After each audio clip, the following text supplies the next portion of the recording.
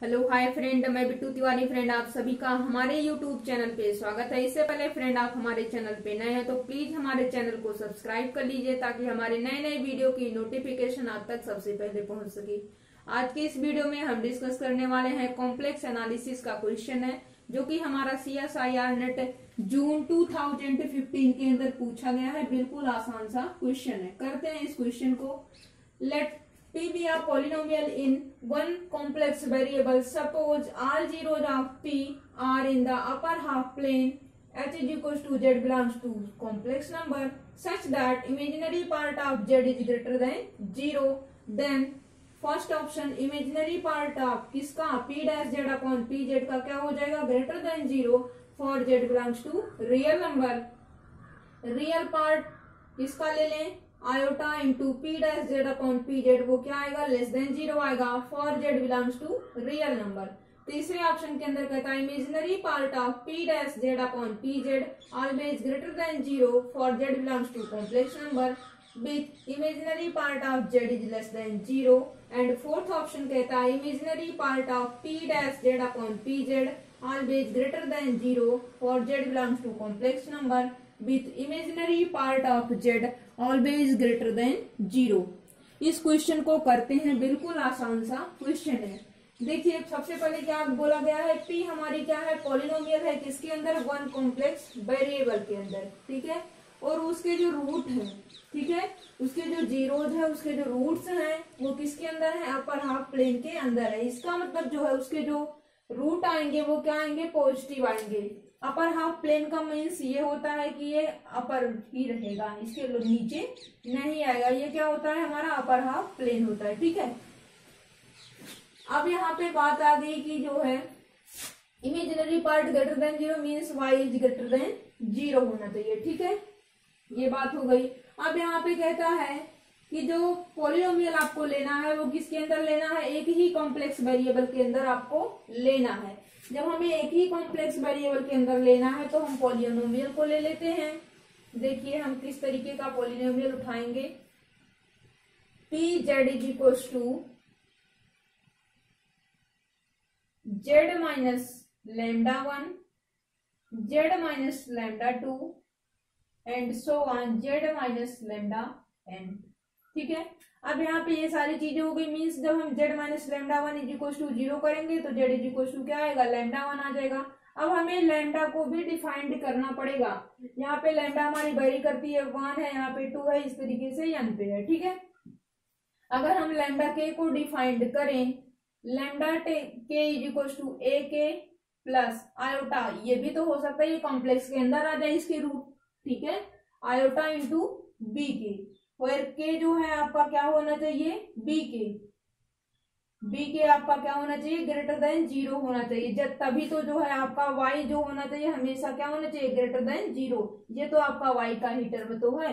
इसलिए जो है इस नंबर को भी ग्रेटर देन ज़ीरो आपको लेके चलना पड़ेगा, ठीक है? और यहाँ पे जो के है, वो कहाँ से बैरी करेगा? के जो है आपका वन टू एन बैरी करेगा। वन टू एन ठीक है? ये हमारा के का वेरिएशन है, ठीक है? हमने पोलिनोमियल कर लिया। उसकी जो आइगन वैल्यू है, उस मीन्स उसके जो जीरोज है, उसको भी डिफाइंड कर लिया है। अब यहाँ पे बात आ गई कि हमें क्या करना है? P dash Z upon P Z करना है। ठीक है? यहाँ पे तो बात इन्होंने चलाई हुई है, जब हमारा क्या है? रियल नंबर है। इसके अंदर भी रियल नंबर है। इसका मतलब जो है, एक बार हमें क्या करना होगा? पॉइंट हमें रियल नंबर से लेके चलना पड़ेगा। और दूसरी बार जो है, हमें पॉइंट कहाँ से लेके चलना पड़ेगा? कॉम्प्लेक्स नंबर से लेके चलना पड़ेगा। तो सबसे पहले हम चलेंगे जब हमारा पॉइंट कहाँ से बिलोंग करता है? सेट ऑफ़ रियल नंबर से बिलोंग करता है। तो देखिए करते हैं। पी डैश जेड जैसे मान लीजिए डी डी एक्स आपका क्या होता था? फ़र्स्ट इंटू सेकेंड का। आपको डिफ्रेंसिएशन करना होता था तो आप क्या करते थे? फ़र्स्ट को बाहर कर लेते थे। एक बार जो है सेकेंड का डिफ्रेंसिएशन कर देते थे। फिर जो है सेकेंड का differentiation plus second into first का डिफरेंशिएशन यही ना करते थे। ठीक है? अब यहाँ पे जो है, एक से ज़्यादा नंबरों का प्रोडक्ट है तो यहाँ पे पी डैश जेड जब हम करेंगे तो ये वाला टर्म तो यहाँ पे जेड माइनस लेमडा वन का जेड के रिस्पेक्ट में जब हम करेंगे तो हमें क्या मिलेगा? हमें मिलेगा वन तो यहाँ पे मिल जाएगा, ये टर्म मीन्स गायब हो जाएगा पहले वाले में। क्या मिलेगा? Z minus lambda two and so on Z minus lambda N ठीक है? एक टर्म को और लिख लेते हैं। Z minus lambda three and so on, Z minus lambda N, ठीक है? अब यहाँ पे बात ये आ गई, अब बारी बारी से भी तो करना पड़ेगा प्लस अब यहाँ पे सेकंड वाले के अंदर जब इसका करेंगे तो ये वाला गायब हो जाएगा, ये सारे टर्म बचे रहेंगे तो मीन्स क्या मिलेगा? जेड माइनस लेमडा वन और यहाँ पे Z minus lambda three and so on, Z minus lambda N. Similarly ऐसे हम करते जाएँगे और क्या मिलेगा? Z minus lambda one Z minus lambda two and so on Z minus lambda N minus one तक मिलेगा, ठीक है? बट यहाँ पे हमें क्या करना है? P dash Z upon P Z करना है। मीन्स इसके हर एक के नीचे क्या करना है? इस नंबर से डिवाइड करना है। जब हम इस नंबर से हर एक के नीचे डिवाइड करेंगे तो ये टर्म तो सेम रहेगा।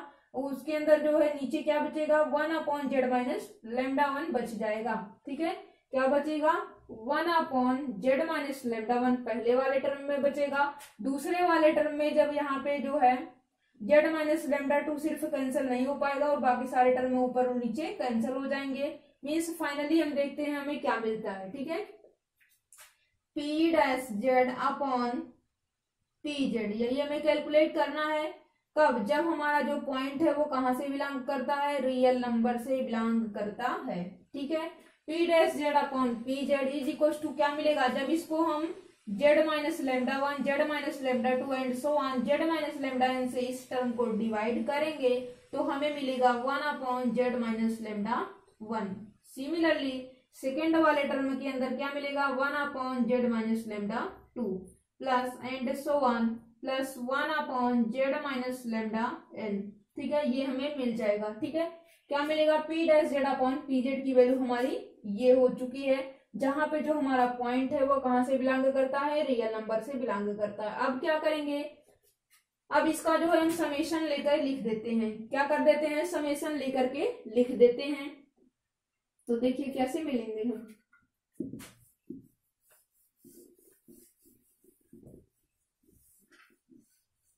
चलिए देखिए लिखते हैं। P dash Z upon pz is equals to summation k going from 1 to n 1 upon z minus lambda k. और जो हमें लैम्डा की वैल्यू लैम्डा के इक्वल टू क्या लिखा था मैंने? सपोज़ किया है क्या? A K plus lambda iota B K where B K is greater than zero ठीक है? यहाँ पे जो आपका पॉइंट बी के है, वो क्या होना चाहिए? ग्रेटर देन ज़ीरो जो आपकी ये कंडीशन बोलती है, ठीक है? अब यहाँ पे लेमडा की की वैल्यू जो है, हम यहाँ पे पुट करेंगे। लेमडा के की वैल्यू जैसे ही हम यहाँ पे पुट करेंगे, देखिए हमें क्या मिलेगा?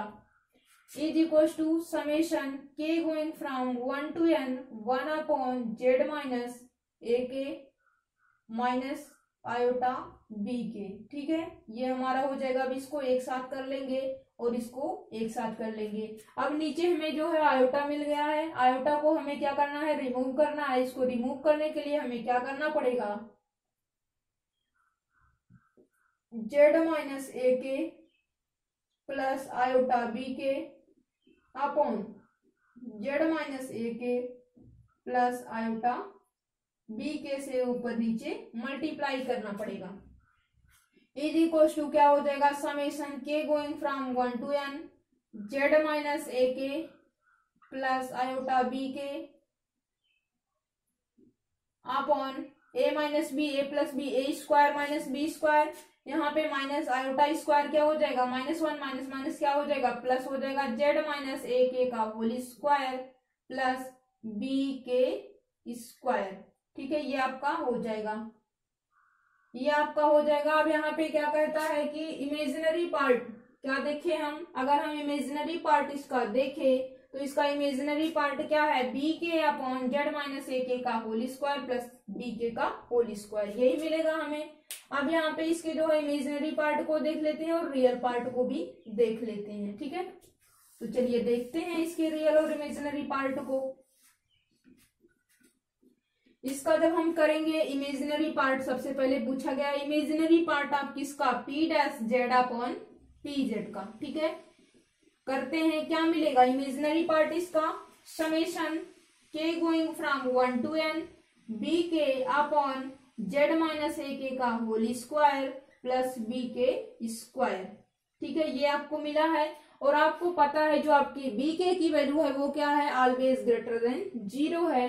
ये आपकी क्वांटिटी ग्रेटर देन ज़ीरो है, ये स्क्वायर है, ये स्क्वायर है। ये आप पॉजिटिव है और इसका स्क्वायर भी कर दिया गया है। मान लीजिए, आप जो है जेड इज़ टू ले लेते हो ए के।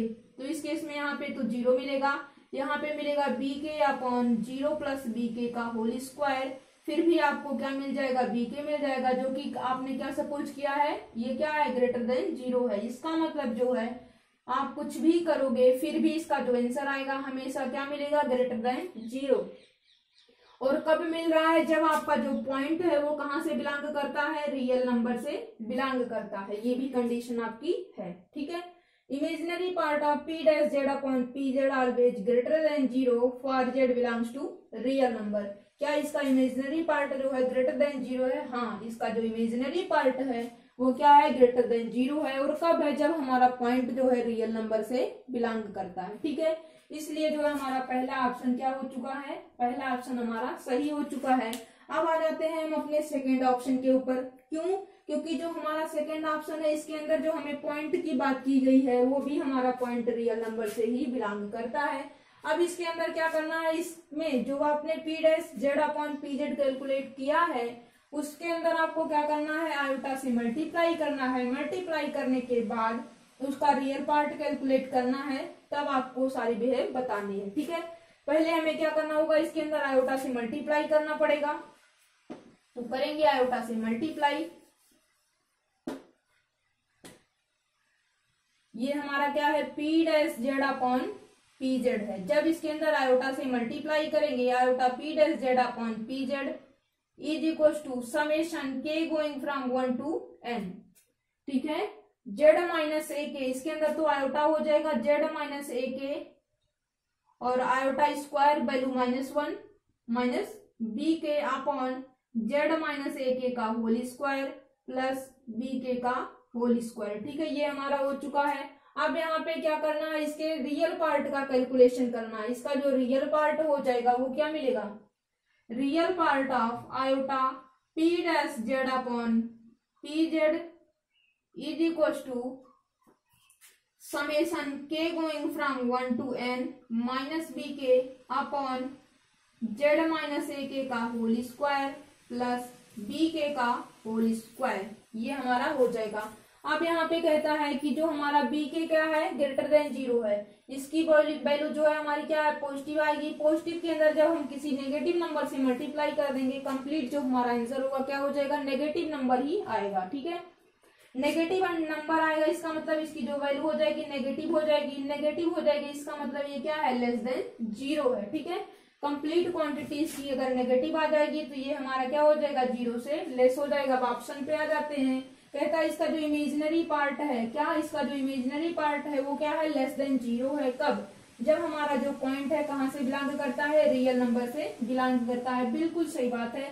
और हमने कैलकुलेट करके देख भी लिया है इसकी जो वैल्यू है वो क्या है? लेस देन ज़ीरो है। कब? जब हमारा पॉइंट जो है रियल नंबर से बिलोंग करता है, इसलिए हमारा दूसरा ऑप्शन भी सही हो गया। अब हम आ जाते हैं तीसरे ऑप्शन के ऊपर। हमारा जो तीसरा और चौथा ऑप्शन है, दोनों के दोनों सेम ऑप्शन है बट यहाँ पे क्या है? इसके अंदर कहा है इमेजनरी पार्ट जो आपका जेड है वो क्या है? लेस देन ज़ीरो है। इसके अंदर का क्या कहा गया? Imaginary part of Z is greater than zero है। ठीक है? अब यहाँ पे इसके अंदर हमें कुछ चेंजिंग करना पड़ेगा।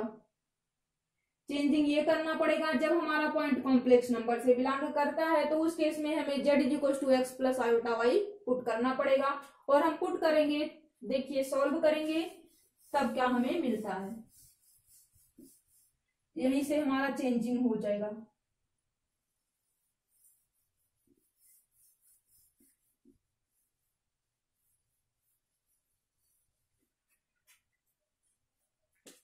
और यहाँ पे क्या करना पड़ेगा? Z is equal to X plus iota Y is equal to summation K going from one to N one upon X plus iota Y minus इसकी वैल्यू क्या है? ए के प्लस आयोटा बी के ठीक है आयोटा वाले टर्म को एक साथ करेंगे और जो आयोटा से फ्री है, उसको एक साथ करेंगे। Is equal to summation K going from one to N one upon X minus A K plus iota Y minus B K.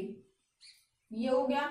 अब नीचे हमें क्या दिखाई दे रहा है? आयोटा दिखाई दे रहा है और इस आयोटा को हम रिमूव करने की कोशिश करेंगे तो हमें क्या करना पड़ेगा?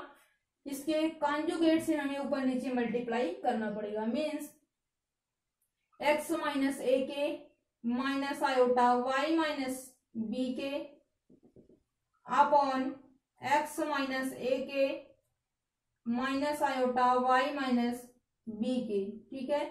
नीचे तो हमारा क्या हो चुका है? ए प्लस बी और A minus B A minus B A plus B का जो फार्मूला इसके अंदर हम अप्लाई करेंगे। और देखिए क्या मिलेगा? Is equal to summation K going from one to N X minus A K minus iota Y minus B K upon X minus A K का होल स्क्वायर और जो है, क्या मिलेगा? माइनस आयोटा स्क्वायर इसको क्या कर देगा? प्लस कर देगा। वाई माइनस बी के का होल स्क्वायर ठीक है, ये हमारा हो जाएगा। ठीक है? अब यहाँ पे ये इन्होंने भी बात बोली है कि जो वाई आपका है, वो क्या है? ग्रेटर देन ज़ीरो है। मीन्स यहाँ पे जो वाई आपको दिखाई दे रहा है, वो भी ग्रेटर देन ज़ीरो है। और जो आपको बी के दिखाई दे रहा है, ये भी आपका ग्रेटर देन ज़ीरो क्वांटिटी है। ठीक है? अब यहाँ पे क्या करना है, इसके रियल और इमेजिनरी पार्ट की सिर्फ़ बात की गई है। क्या की गई है? इमेजिनरी पार्ट तो इसका इमेजिनरी पार्ट हम निकाल देंगे। Imaginary part of P dash Z upon P Z is equal to summation k going from 1 to n minus Y minus B K या फिर जो है हमें चलिए अभी ऐसे करते हैं। अपॉन एक्स माइनस ए के का whole square plus Y minus B K का होल स्क्वायर ठीक है? ये हमारा जो है, क्या मिल गया इमेजिनरी पार्ट मिल गया है, जो हमने कैलकुलेट किया है, ठीक है? अब यहाँ पे कहता है जेड आपका कॉम्प्लेक्स नंबर से बिलोंग करता है। यस जेड को हमने कहा से बिलोंग करवाया है? कॉम्प्लेक्स नंबर से बिलोंग करवा दिया है। अब यहाँ पे देखेंगे, इसका जो इमेजिनरी पार्ट है, वो क्या आता है, ठीक है? वाई आपकी क्या है? ग्रेटर देन ज़ीरो क्वांटिटी है। बी के जो है, आपकी क्या है? ग्रेटर देन ज़ीरो क्वांटिटी है, ठीक है? ये आपका हो गया। अब यहाँ पे कहता है कि जब इसका जो है, इन्होंने क्या बोला है? इमेजिनरी पार्ट जो है, क्या है? ग्रेटर देन ज़ीरो है, ठीक है? क्या कहा गया है इसके अंदर? इमेजिनरी पार्ट जो है ग्रेटर देन ज़ीरो है। वाई आपकी पॉजिटिव क्वांटिटी है। बी के जो है, आपका क्या है? पॉजिटिव क्वांटिटी है। तो वाई को ले लीजिए आप टू और बी के को आप ले लीजिए वन तो टू माइनस वन क्या मिलेगा? वन देखिए क्या मिलेगा? Two minus one one minus one upon X की वैल्यू माइनस ए के की वैल्यू अभी रहने दीजिए। और इसका स्क्वायर प्लस वाई की जो वैल्यू है वो क्या है? टू माइनस वन का होल स्क्वायर, ठीक है? टू माइनस, अब इसको जो है एक्स इक्वल टू आप ए के ले लीजिए तो यहाँ पे टर्म हो जाएगा ज़ीरो। और यहाँ पे टू माइनस वन करोगे तो क्या मिलेगा? वन। और यहाँ पे कंप्लीट क्या मिल जाएगा? माइनस का वन। ठीक है? क्या मिलेगा आपको?